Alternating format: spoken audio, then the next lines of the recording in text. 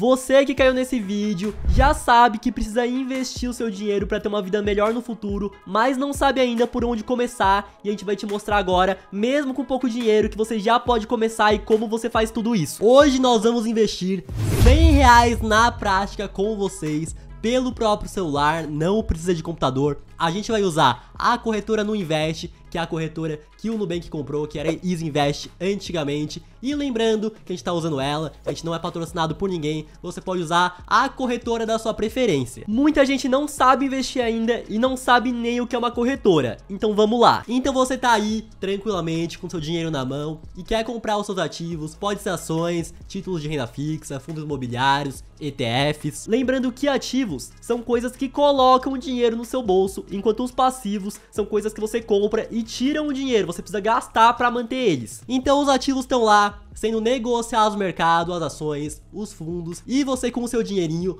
precisa de uma ponte para conseguir comprar esses ativos. E essa ponte é a famosa corretora que intermedia a compra e venda desses ativos, desses investimentos. Vamos lá então, tô com minha conta da Nuinvest aberta aqui no meu celular. Lembrando que para quem já é cliente no Nubank, é bastante tranquilo, você entra ali na Play Store, escreve no Invest, já baixa o aplicativo, vai lá, cria sua conta, coloca seus dados. A gente não vai duvidar da sua inteligência de conseguir criar uma conta aqui na Nuinvest ou qualquer outra corretora, pode ser XP, pode ser Clear, pode ser Rico, de preferência uma corretora taxa zero aí, para você não gastar dinheiro com taxas. Lembrando que não é pelo aplicativo do Nubank, é outro aplicativo separado que você vai baixar na Play Store ou na Apple Store e criar conta. A corretora que você vai investir acaba não importando tanto, pelo simples fato de que seus ativos sim ficam custodiados na corretora, porém eles estão vinculados no seu CPF. Então vamos supor, eu investi uma corretora pequena, a corretora veio a falir, porém as minhas ações, os meus fundos imobiliários, os meus títulos de renda fixa estão no meu CPF, então eu simplesmente vou transferir essa custódia para outra corretora. E todas as corretoras que a gente citou nesse vídeo são grandes e dificilmente vão dar problema. Lembrando que nós vamos comprar ativos aqui com vocês na prática, porém isso aqui não é uma recomendação de investimentos, nós estamos apenas mostrando que é possível comprar ativos com pouco dinheiro, cada um obviamente deve fazer seu estudo e ver o que é melhor para você, para o seu gerenciamento de risco, para os seus objetivos. E se você quiser aprender mais sobre investimentos, nós postamos muito conteúdo de qualidade aqui no canal, a gente trabalha bastante para entregar o melhor para você e você pode se inscrever aí e ativar o sininho para receber tudo isso. Eu tenho certeza que você vai adquirir bastante conhecimento consumindo nossos conteúdos e vai valer bastante a pena. Por fim, estou aqui na Nuinvest, como vocês podem ver, estou com 100 reais de saldo, eu já tinha 40, adicionei apenas 60. Esses 945 são de outro vídeo que a gente fez investindo na Nuinvest. Então, clicando aqui em investir,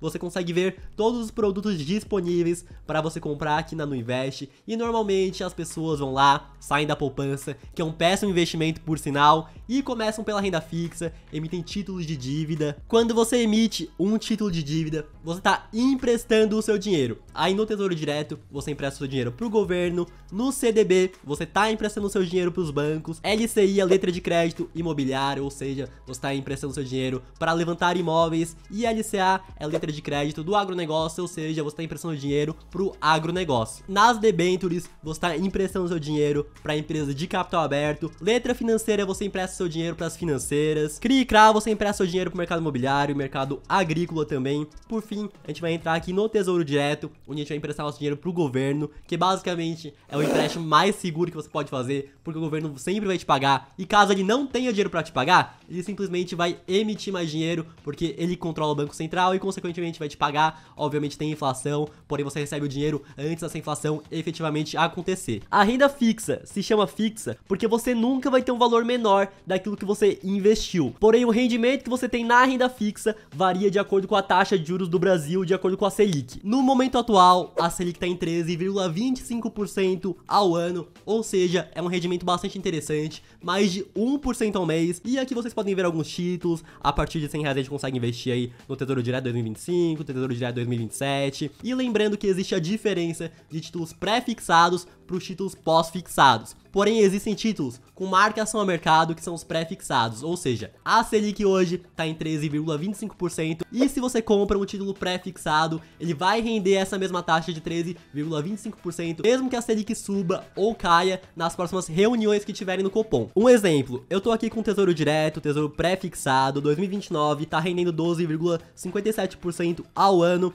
Ou seja, até o vencimento desse título, ele vai render 12,57% ao ano. Então acontece da seguinte forma: se a Selic subir, ele vai continuar pagando a mesma coisa, o valor não vai se alterar. Porém, se a Selic cair, esse rendimento continuará o mesmo. A Selic tem um patamar bastante alto e a tendência é que ela pode continuar subindo ainda esse ano. Porém, para o médio prazo, quando a inflação estiver controlada, a tendência é que ela comece a cair. Enfim, com 32 reais você já pode comprar esse título aqui pré-fixado 2029, rendendo 12,57% ao ano. Muita gente se confunde, vê aqui sobre o imposto de renda. O que acontece? Quanto mais tempo você deixa o seu título aqui parado, você paga menos imposto de renda. Então ele começa em 22,5% de imposto de renda e pode cair até 15%. Lembrando que caso você espere 30 dias, você não paga o IOF, que é o imposto sobre operação financeira. E outra coisa importante, que caso você queira vender esse título antes do vencimento, Caso a Selic tenha subido mais, obviamente ele vai estar tá valendo menos, porque ele vai estar tá rendendo menos do que os títulos atuais. Porém, caso a Selic venha cair, ele vai estar tá valendo mais, caso você queira vender o título antes do vencimento. Enfim,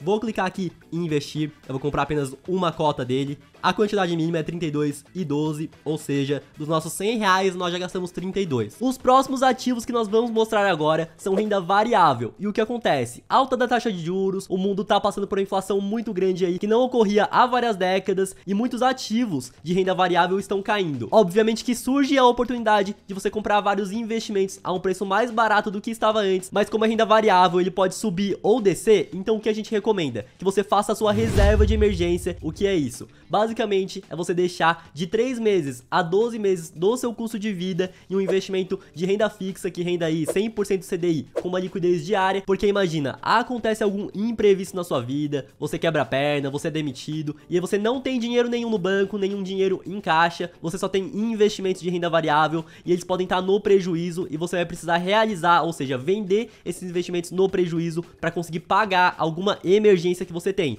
Então pega aí de 3 meses a 12 meses meses do seu custo de vida, deixando um investimento de renda fixa, rendendo 100% de CDI com liquidez diária, porque aí no mesmo dia você já pode tirar e pagar esses imprevistos. Lembrando que tem que ser uma renda fixa de liquidez diária, ou seja, esse investimento aqui, esse tesouro direto, pré-fixado lá para 2029 não serviria, então você pode comprar um CDB de liquidez diária do seu banco, pode deixar a conta do Nubank, conta do PicPay, que rende 105% do CDI. O importante é que esse dinheiro tem essa liquidez para você tirar a hora que você precisar. Depois que você passa a ter esse colchão aí para te dar uma tranquilidade caso aconteça alguma coisa. Você começa a estudar e investir em renda variável, que são os investimentos que te darão um maior retorno no longo prazo. Um investimento que bastante gente gosta são os famosos fundos imobiliários. E o que acontece? É um fundo de investimento que tem vários imóveis e você comprando uma cota, você tem parte desse fundo com vários imóveis e consequentemente esses imóveis estão alugados e todos os meses você vai receber aluguéis dessa cota que você tem. Muita gente se confunde achando nossa, tem que comprar todo mês, como é que funciona? Quando você compra uma cota, você vira dono de parte desse fundo e, consequentemente,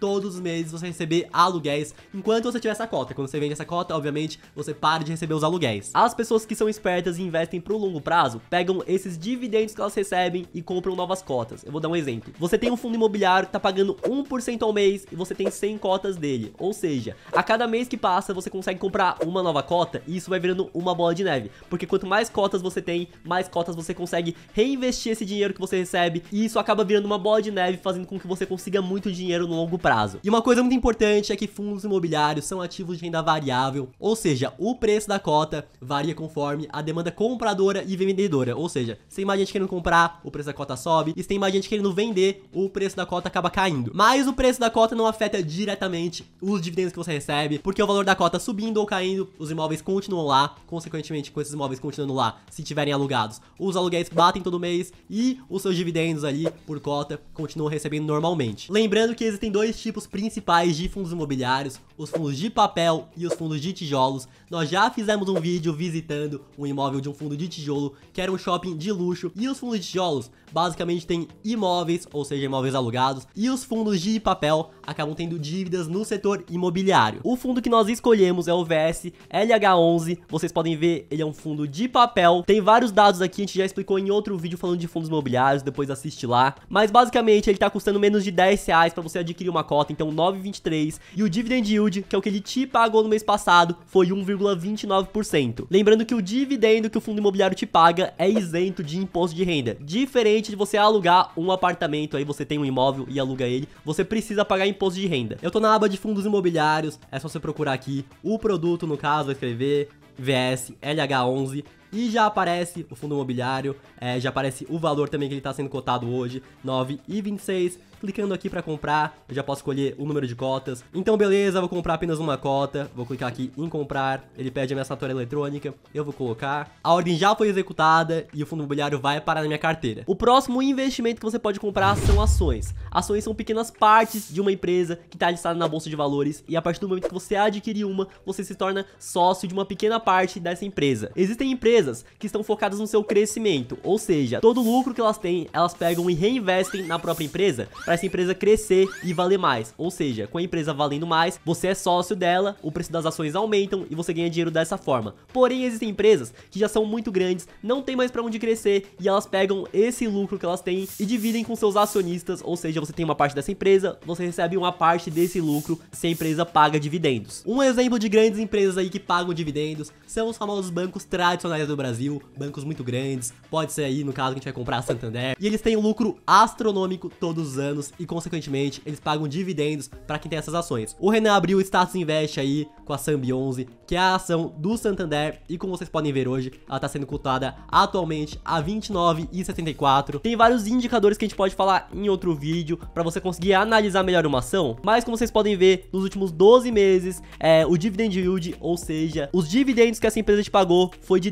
10,27%. Isso aqui é o dividendo que ela pagou no passado, não quer dizer que ela vai continuar pagando. Os dividendos acabam variando de acordo com o resultado da empresa, ou seja, se tem mais resultado, ela paga mais, se ela tem menos resultados, ela paga menos, e também varia de acordo com o preço da ação. A gente pode fazer um vídeo mais detalhado falando sobre esses indicadores, mas enfim, com 29,64 você já pode se tornar sócio de um dos maiores bancos do Brasil, que é o Santander. Tô aqui na aba de ações, eu vou lá e escrevo o código da ação, ou seja, SAMB11, vai aparecer aqui o Banco Santander, eu quero comprar apenas uma ação, então quantidade mínima 1, tá aparecendo aí o valor 29,78 Lembrando que ela varia a todo momento, porque a ação está sendo negociada na bolsa de valores. Enfim, clico aqui em comprar, coloco quantas ações eu quero, no caso uma, beleza. Já aparece aqui a minha senha eletrônica, eu coloco e a ordem vai ser executada. Por fim, nós temos os ETFs, que são fundos de investimentos que replicam os maiores índices aí do mercado financeiro. Um exemplo que aqui no Brasil a gente tem a nossa bolsa de valores a B3 e tem o índice dela, que é o Ibovespa, que são a média das maiores empresas do Brasil. Como vocês podem ver, o Ibovespa está aberto e existe esse ETF, o BOVA11, que você pode comprar em qualquer corretora que ele replica o índice do Ibovespa. Ou seja, você não está comprando uma ação só, você está comprando a média das maiores empresas do Brasil, com essas empresas crescendo, esse índice vai subir e você ganha dinheiro. Como vocês podem ver, o BOVA11 está cotado em 95 reais então nós vamos comprar outro ETF. Então eu pesquisei na EG11 na busca, ele custa 8,70 e lá tem as maiores empresas de tecnologia lá dos Estados Unidos. Então tem Amazon,